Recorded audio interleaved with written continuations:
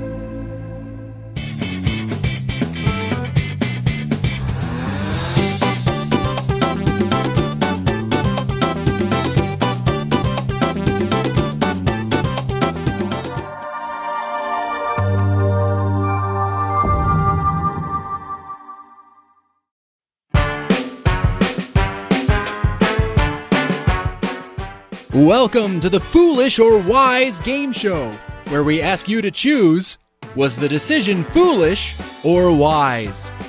All you have to do is listen closely to each question. If you think the choice was foolish, you'll sit down. If you think the choice was wise, please stand up. That's right, folks. You have two choices foolish and wise. Let's see how well you do. First up, let's start easy, shall we? Here's the decision made, and you have to decide if it was foolish or wise.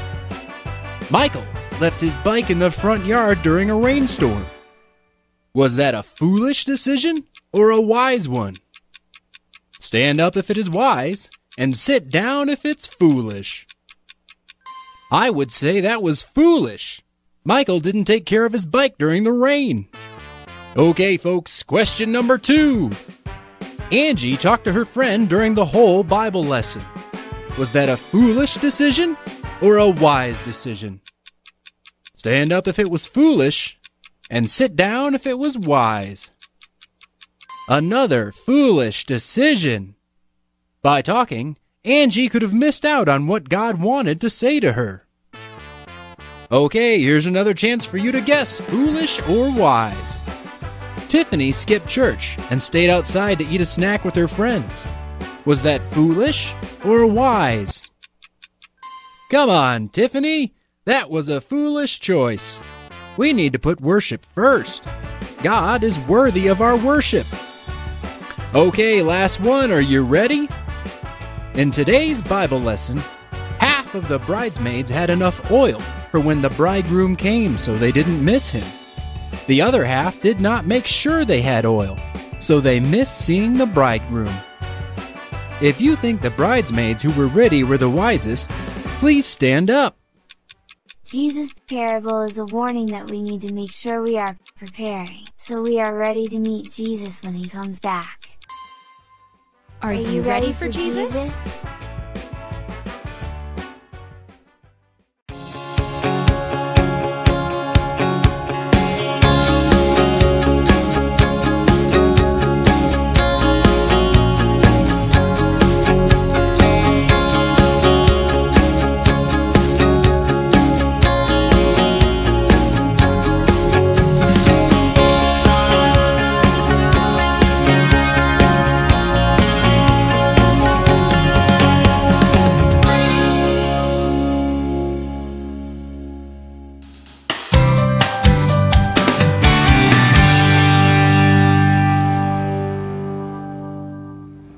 Well, good afternoon, everyone. I'm Brother Tyler Fox, Youth and Children's Pastor here at First Baptist Calico. And like always, it's great that you're tuning in. And there are some announcements. First, I just want to say it's been a great day here in Calico Rock. Uh, two services this morning, 8 a.m. and of course uh, 10 a.m. with Sunday school at 9. And Brother Kevin, our pastor, preached both services this morning at 8 and 10 and uh, he did a great job. So we are excited about that, and we're excited about letting people have the opportunity to come to uh, the service with a little more people at 10 or the smaller service at 8. We also started back children's church this morning during our 10 a.m. service, and so we uh, we had a good turnout of five students this morning. Really, really enjoyed having our pre-K through our third grade back in children's church. That is something we really enjoy here at First Baptist. Don't forget our Bible study tonight at 6 p.m. Uh, you can come and be live in the sanctuary. Uh, Brother Kevin is stealing John chapter 10, or you can watch it on Facebook, and we always put it on our YouTube page. All you have to do is just search YouTube for First Baptist Church Calico Rock, and you can find all of the videos we've done since March. We have over 60 videos on there. And so you can watch all of our stuff right there on YouTube. And of course, next Sunday, uh, two services 8 a.m. and 10 a.m., 9 a.m. is Sunday school. And of course, 2 p.m. is our broadcast. So we have a lot of stuff going on on Sundays. And speaking of stuff going on, uh, on the screen, you're going to see all of our church information. Uh, we show it to you every week. Uh, this is just the ways to get a hold of us if you need us this week. Uh, Brother Kevin's number, my number, the church office, our website, the email. And just anything you need, just let us know. Maybe you need us to pick up your tithes or offering, or maybe you just need to uh, to talk to somebody. Whatever you need, the church information is right there. And speaking of stuff that you might need, I need to tell you that next week is the deadline for Operation Christmas Child. Now, this is something that we love doing here at First Baptist, and this is uh, all about the shoe boxes. And these shoe boxes are sent all around the world. And if you've never heard of this, this is just a great, great ministry. And so we need those shoe boxes back by next week, or if you bought things for the shoe boxes, then we need you to bring them. Our women, the WMU, they do a great job with this. And so we need all that by next Sunday. And for more information on this amazing ministry, here's a video about Operation Christmas Child. I've had a lot of people tell me I'm lucky, but I tell them I'm chosen.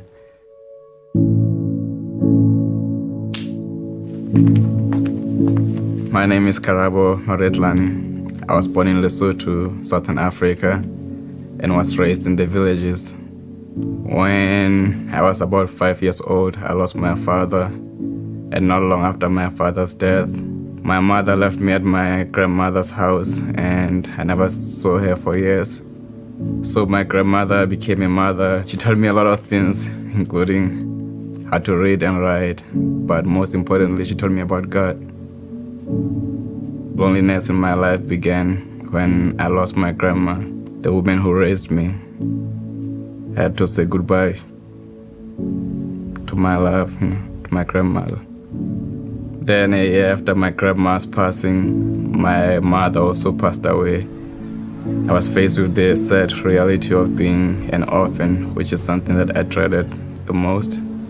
I had a home and a house in the villages, but I had no parents. I was alone.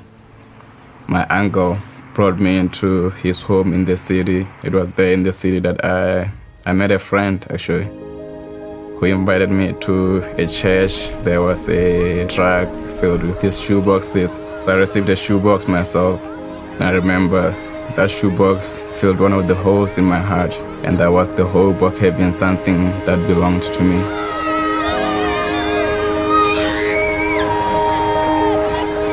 I had lost everything, so the gift of the box gave me that hope. This belongs to me, and it really filled my heart. I realized God gave me what I was always in need of. I made a choice to personally seek Him. Today, I have a family and I'm no longer an orphan. I know I'm chosen.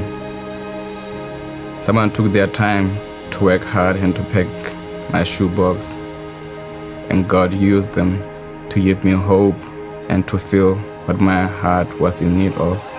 So today, if you hear the voice of God, do not harden your heart. The harvest is plentiful, but the workers are few. So I'm asking you to go prepare a gift today, pack a shoebox, give someone hope, and love somebody today, and spread the gospel.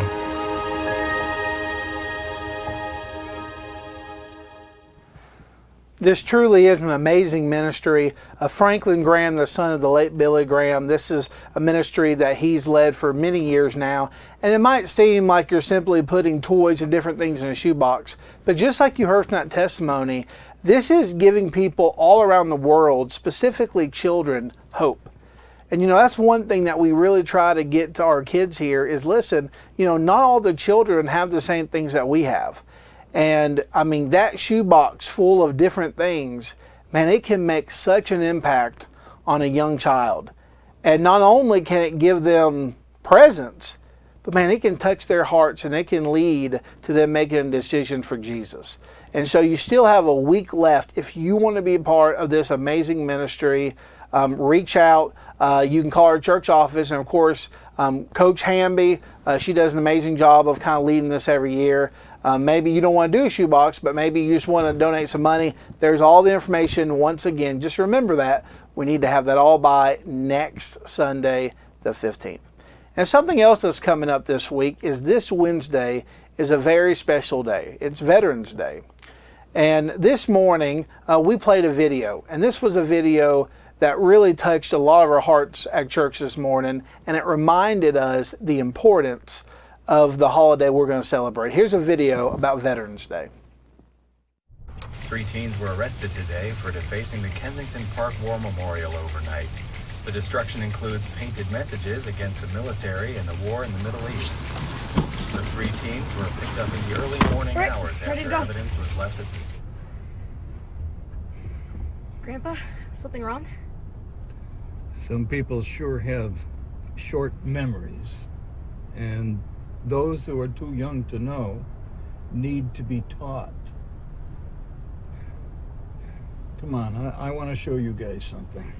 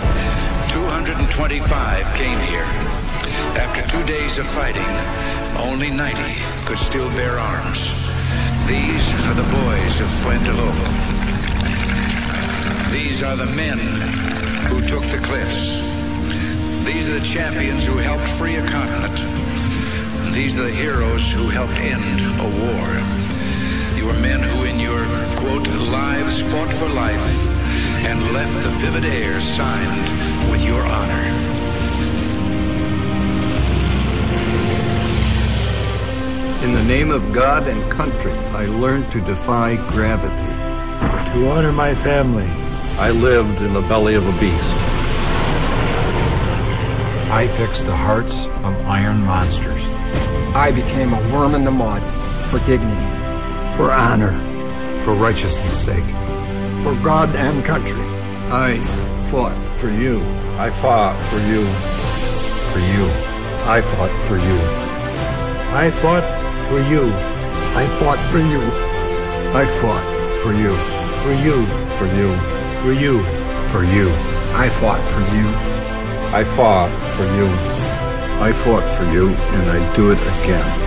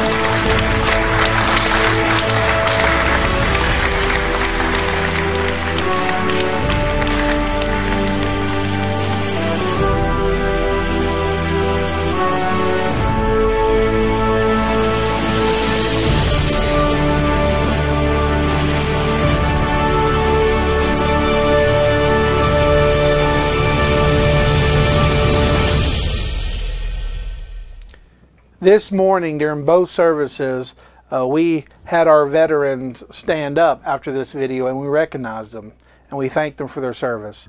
And so, if anyone is watching, I mean, if you've served in the military, thank you. Thank you for your service and thank you for your dedication. Um, it's a very important day coming up Wednesday, and uh, we're looking forward during WASH to celebrate it with our students and help them understand the importance of Veterans Day. We also have some prayer requests. We need to pray for Miss Iris Tugwell from West Plains, Missouri. We need to keep Miss Iris in our prayers. And we also, of course, need to continue to pray for, of course, Nadine and Stan Sublet. Uh, they're church members here in Calico Rock. We love them, and we just need to keep Miss Nadine and Stan in our prayers uh, during this time. And of course, anyone uh, with different issues uh, going on. A lot of people are sick. A lot of church members uh, with COVID, with sinuses, just everything's going on. The flu, unfortunately. And so um, we are definitely remembering our people in our community and our church right now. Let's pray together. Father, we're so thankful to come together. We're so thankful, Father, to be able to have this broadcast and to be able to reach people in different areas in different states. And, and Father, Lord, we just, we thank you for this country. Uh, Father, Lord, we thank you for those who have served and protected us. Lord, both past and present. And Father, we thank you for each person watching. Lord, we know that you have a purpose for this ministry. And Lord, Father, we just pray that, Lord, this broadcast, Father, through the different things that we do, and most importantly through the preaching of your word, Father, will touch people. And Lord, if there's anyone who does not know you, Lord, Father, we pray that through this broadcast they can know who Jesus is, Father. Lord, that He loves them, and Father, He has a plan and a purpose for them.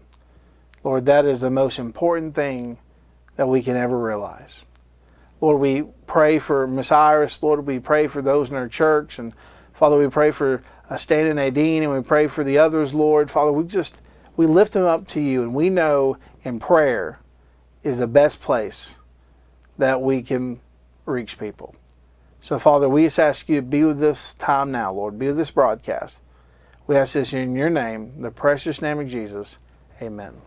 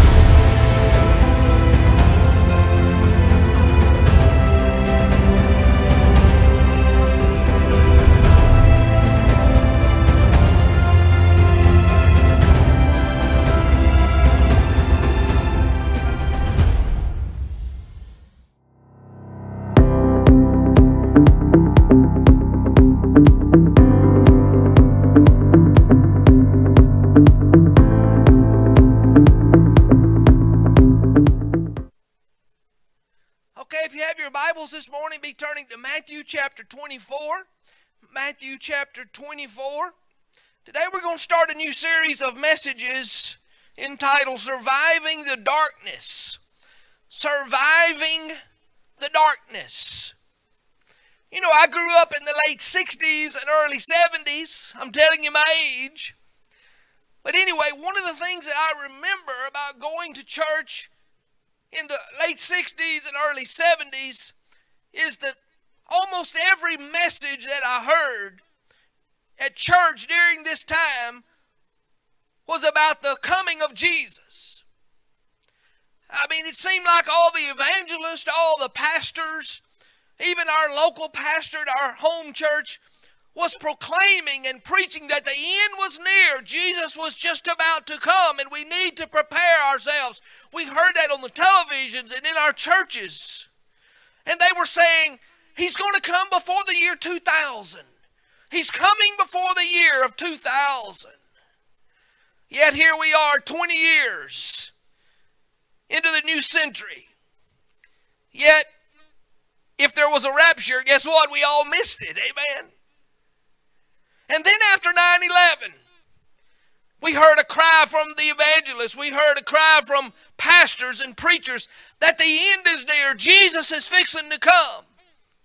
But it's been 19 years. Can you believe it? 19 years since 9 11.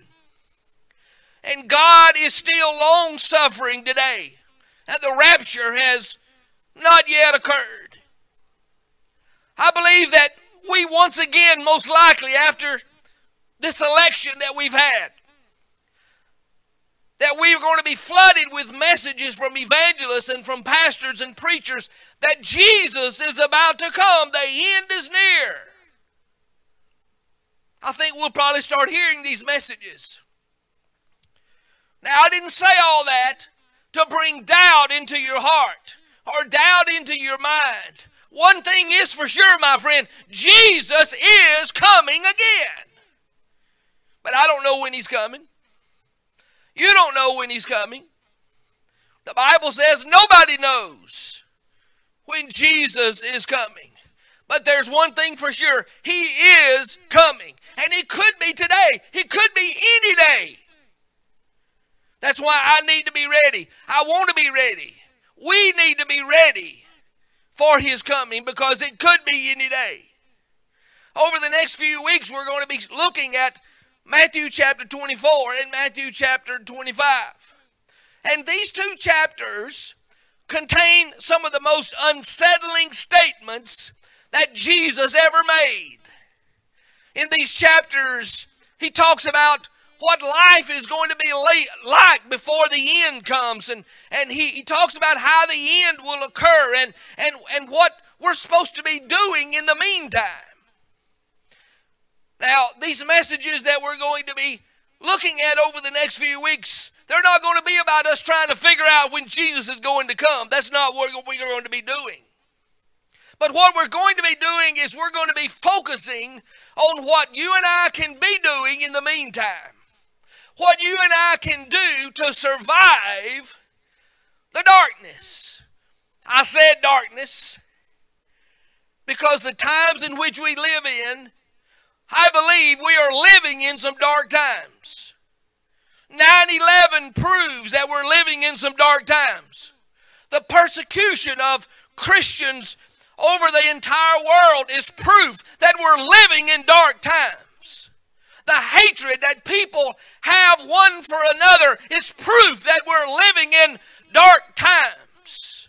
The fact that 21 out of every 100 babies they're murdered, that proves to me that we're living in dark times. Amen. Today's message is entitled When Trouble Comes. When Trouble Comes. Matthew chapter 24, we're going to look at the first 25 verses of Matthew chapter 24. If you have that, say, I have it, Pastor. Let's stand in the reverence of the reading of God's Word. Matthew chapter 24, beginning in verse 1, going through verse 25. Then Jesus went out and departed from the temple, and his disciples came up to show him the buildings of the temple. And Jesus said unto them, Do you not see all these things? Assuredly I say to you, not one stone shall be left here upon another that shall not be thrown down. Now, as he sat on the Mount of Olives, the disciples came to him privately, saying, Tell us when these things shall be, and what will be the sign of your coming at the end of the age? And Jesus answered and said to them, Take heed that no one deceives you, for many will come in my name, saying, I am the Christ, and will deceive many. And you will hear of wars and rumors of wars. See that you're not troubled, for all these things must come to pass, but the end is not yet. For nation will rise against nation, and kingdom against kingdom. And there will be famines, pestilence, and earthquakes in various places. All these are the beginning of sorrows. Then they will deliver you up to tribulation and kill you, and you will be hated by all nations for my name's sake. And then many will be offended, will betray one another, and will hate one another. Then many false prophets will rise up and deceive many. And because lawlessness will abound, the love of many will grow cold. But he who endures to the end shall be saved. And this gospel of the kingdom will be preached in all the world as a witness to all the nations, and then the end will come. Therefore, when you see the abomination of desolation spoken of by Daniel the prophet standing in the holy place, whoever reads, let him understand. Then let those who are in Judea flee to the mountains. Let him who is on the housetop not go down to take anything out of his house, and let him who is in the field not go back to get his clothes. But woe to those who are pregnant and those who are nursing babies in those days, and pray that your flight may be in the winter or on the Sabbath.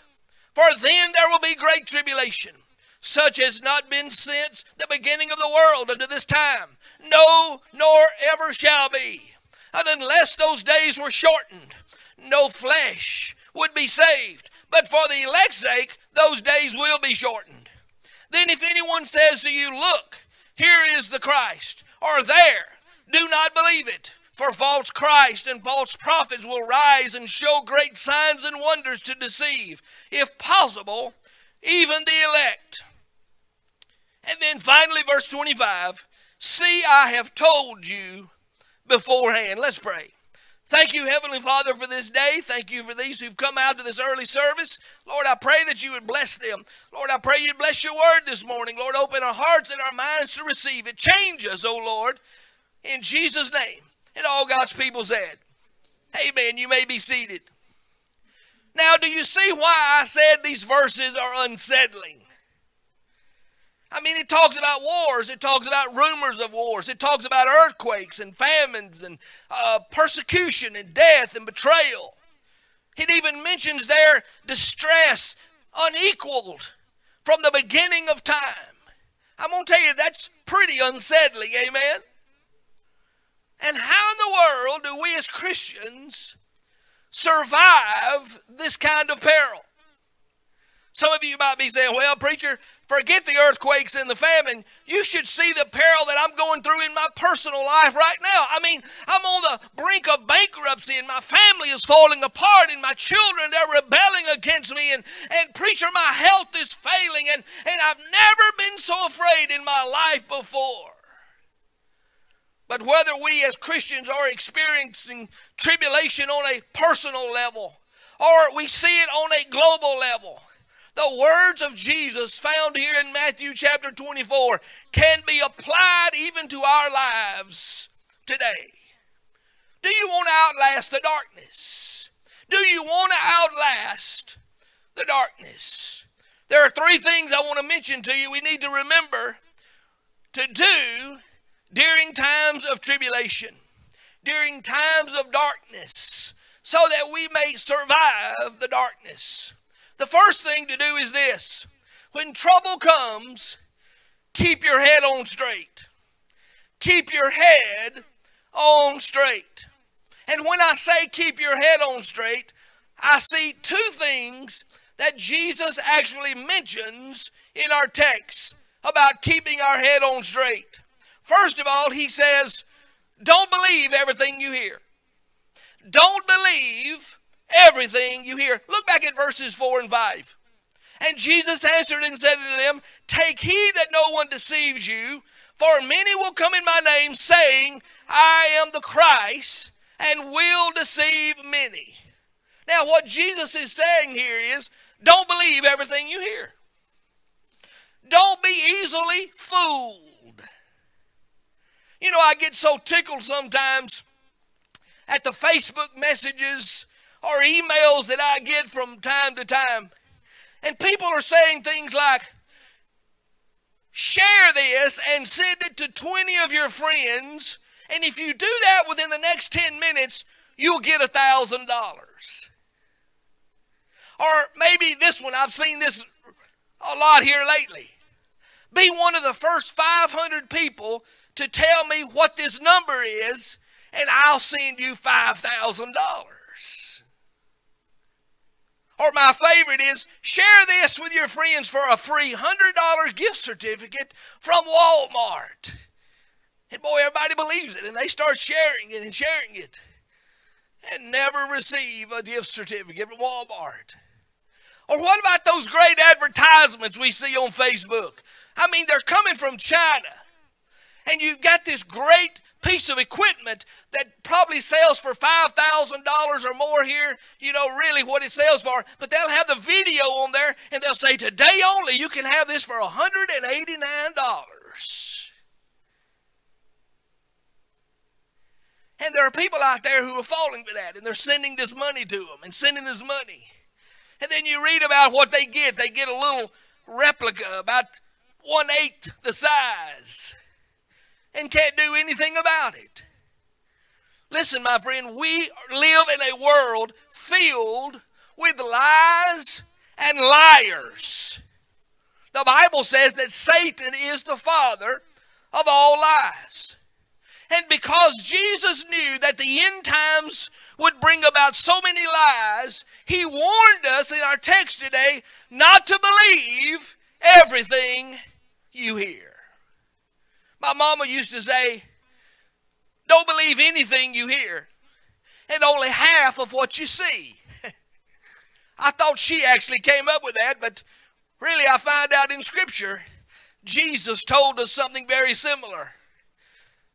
2,000 years ago when he said, Don't believe everything you hear.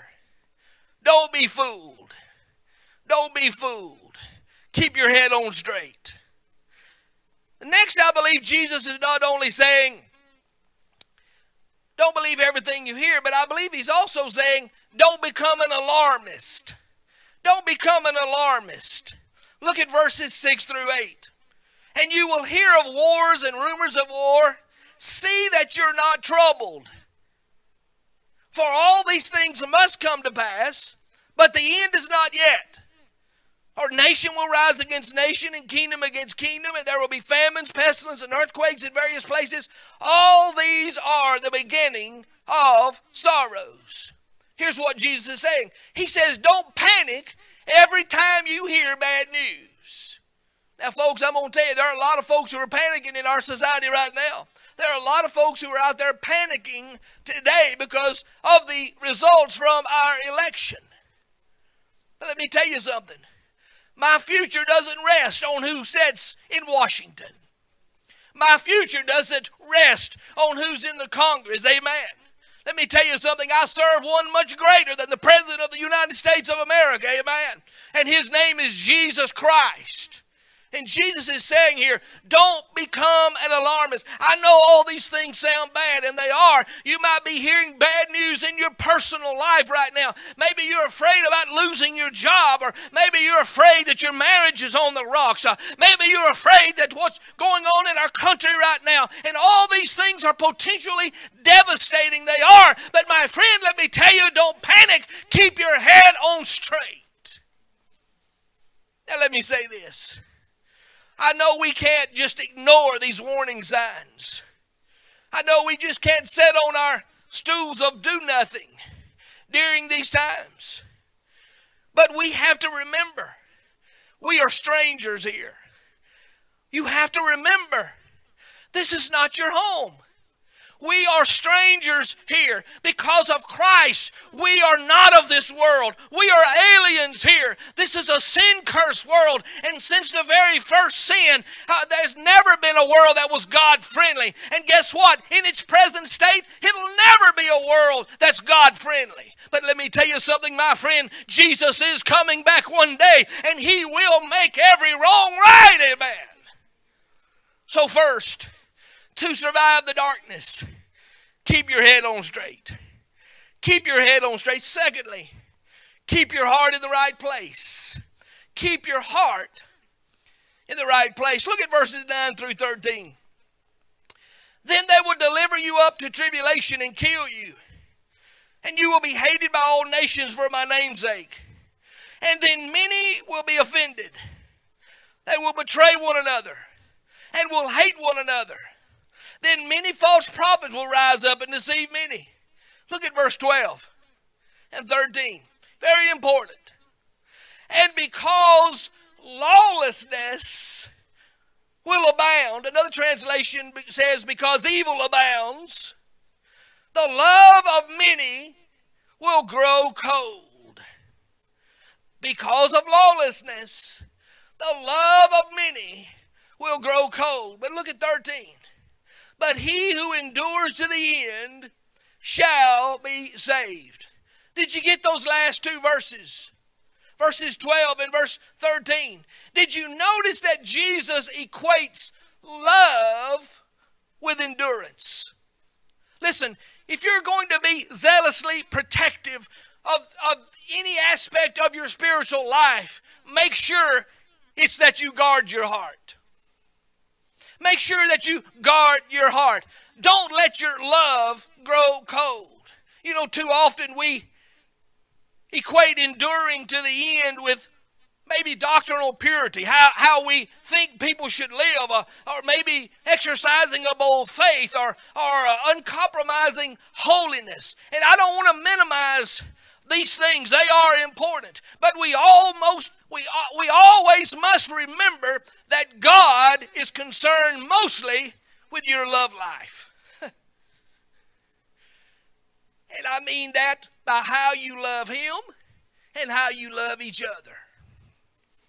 That's what's important, most important to God. Is your love life. Love is supreme. The Bible says in John 13 35, by this all people will know that you're my disciples if you have, what does it say? If you have love one for another. Not how well you know the Bible, not how much you give on the offering plate, not how high you jump or how loud you shout it is, honey, but it's how much you love one another. It says, because of the evil in the world, many, their love will wax cold, or their love will grow cold. You know, Jesus even said the two greatest commandments were that we love God with all our heart, mind, soul, and strength, and to love our neighbor as ourself. He says these are the two greatest commandments. He says all the other commandments hang on those two. So if you want to survive the darkness, keep your heart in the right place, which means keep loving God and keep loving other people. No matter how dark the world may be, keep loving God and keep loving other people. By doing this, he says, you'll endure until the end. And then, lastly, today, keep your feet on the pavement. If you want to survive the darkness, keep your feet on the pavement. Let's read verses 13 and 14 again.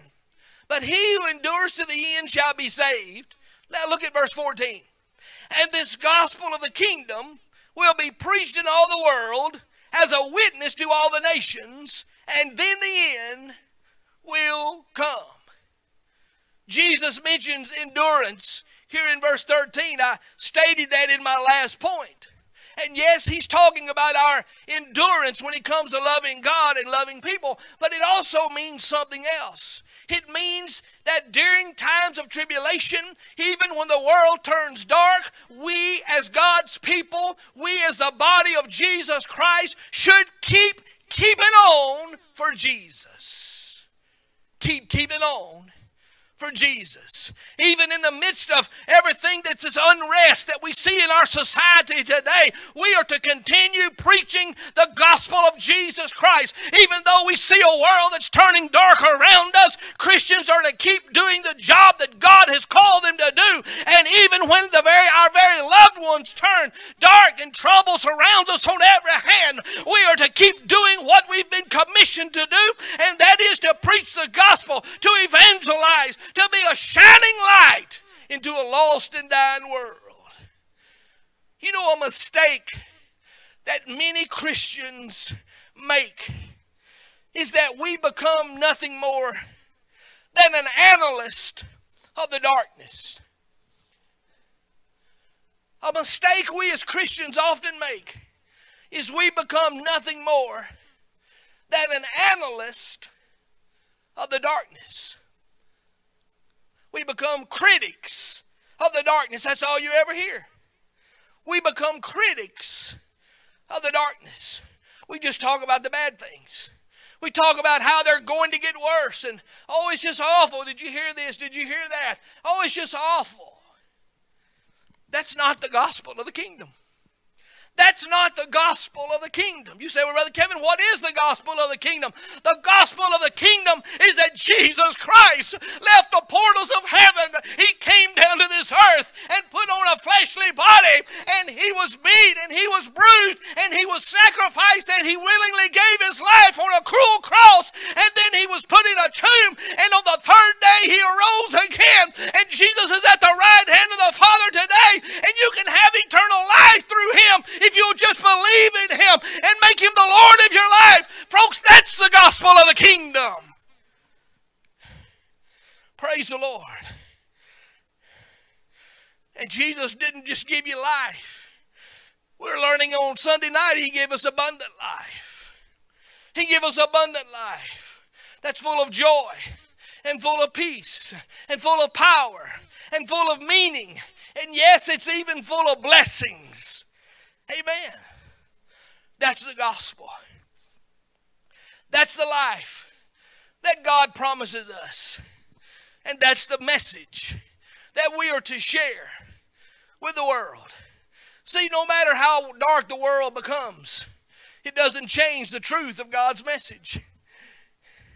And no matter how dark our lives become, it doesn't change the truth of God's message. It doesn't matter who sits in Washington, it doesn't change the truth of God's message.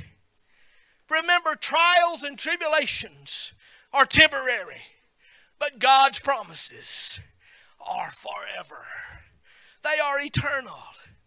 Even when you're going through the fire, keep your feet on the pavement.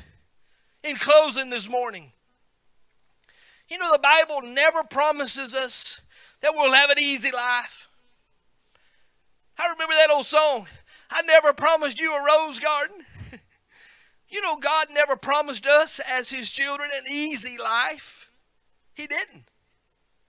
And if you think just by living for Christ that you'll never have any troubles, you'll never have any trials, you'll never have any tribulations, somebody has lied to you. Because living for Jesus Christ is not an easy life. In fact, the Bible teaches us, promises us just the opposite.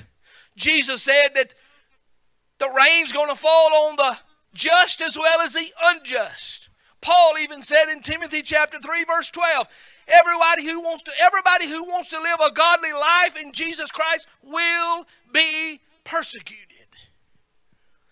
Now, whether we're living in the last days or not, I don't know. Jesus may come before I get through this morning. Or he may not come for hundreds of years. I don't know if we're in the last days or not. I can go by what the Bible says, and I do believe it personally. We are living in the last days. I see the fulfillment of the Bible, the prophecies being fulfilled, and I believe personally we're in the last days. But Paul also believed that in his time. I don't know whether we're in the living in the last days or not. We're going, but whether we are or not, we're going to experience times of darkness in our lives. We're going to experience times of darkness in our society times of persecution, times of trials, times of tribulation. For some people, these things are enough to shipwreck their faith.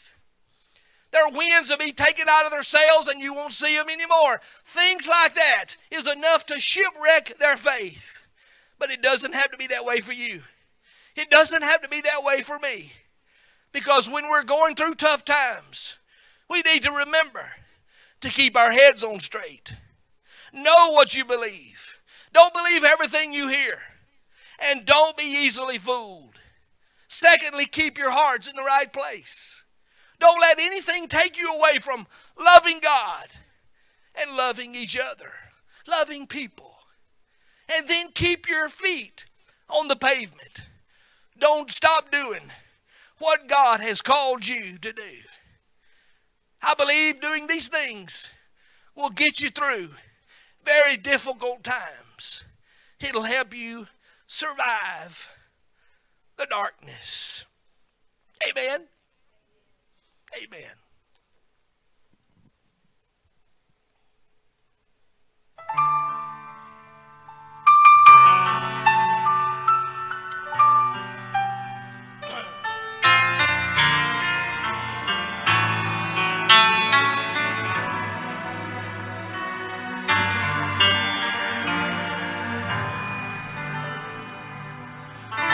Why should I feel discouraged? Why should the shadows come? Why should my heart be lonely and long for heaven and home? When Jesus is my portion, my constant friend is He. His eye is on the sparrow, and I know He watches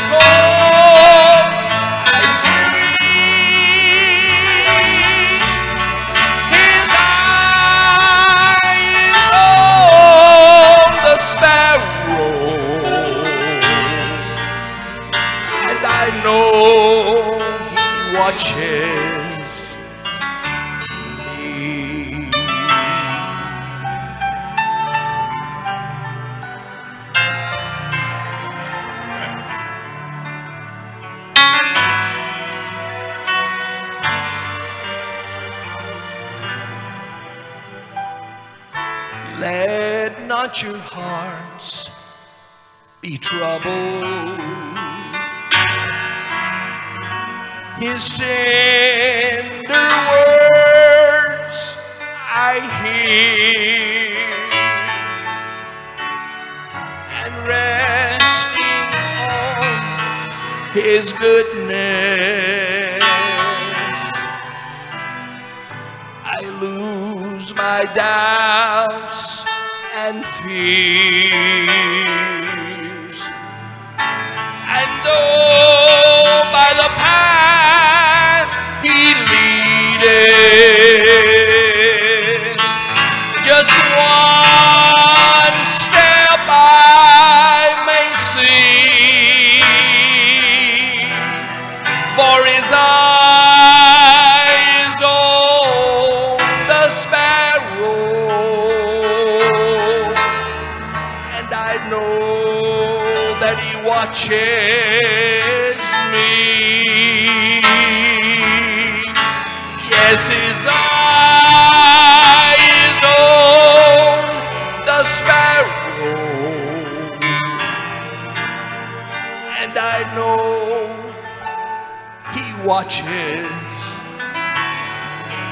stand and sing this new chorus? I sing.